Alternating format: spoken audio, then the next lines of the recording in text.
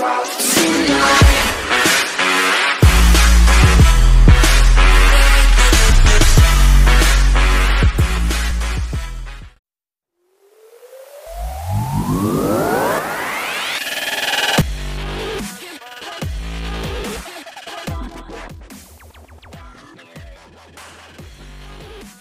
you hear someone say Kia Rio, certain expectations follow, chief among them a small size and a low price.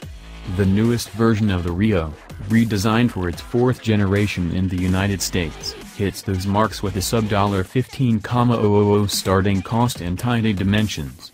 What you may not expect to find is refinement, sophistication, and a generous helping of features. That's where the 2018 Rio delivers on the Kia brand's tagline, the power to surprise. Just as when it debuted in the early 2000s, the subcompact Rio remains the smallest Kia you can buy in the States. It's available as a sedan or as the four-door hatchback tested here, and it rides on a platform shared with the Europe market Hyundai i20 as well as the upcoming Kia Stonic and Hyundai Kona subcompact crossovers. Unlike earlier Rios, though, the newest ranks among the better cars to drive in its segment. While its basic chassis setup of a strut-type front suspension and a torsion beam rear axle hasn't changed, the new Rio's damper tuning brings a newfound composure to the ride quality, while a stiffer structure helps the Kia absorb impacts like a more expensive car.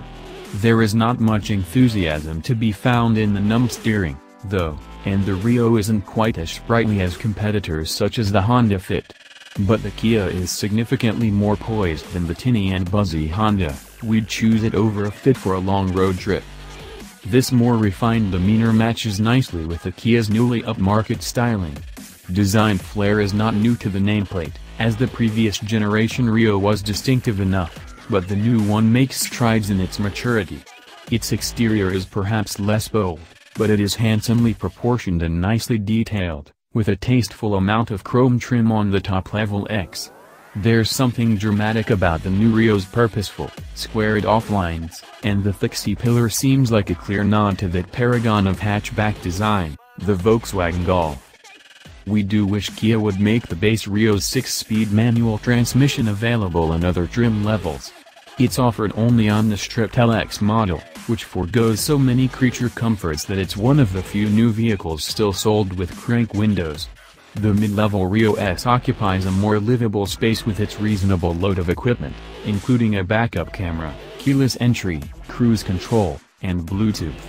And the S costs $17,295, which is a whole lot cheaper than our loaded $20,225 EX-Test car. The less desirable sedan is $300 cheaper than the equivalent hatchback. The Rio starts to lose some appeal once it enters into that higher price range, as several significantly larger and more appealing hatchbacks, such as the Honda Civic, base price $20,775, and the Mazda 3, $20,220 are available for similar money.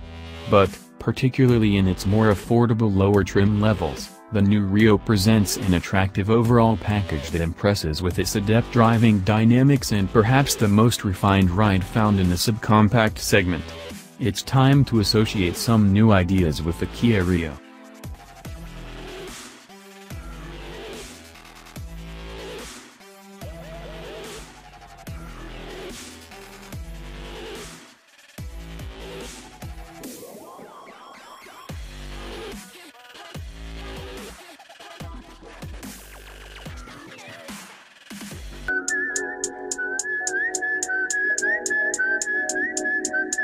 Rob Stone, two damn phones, Babylon's came.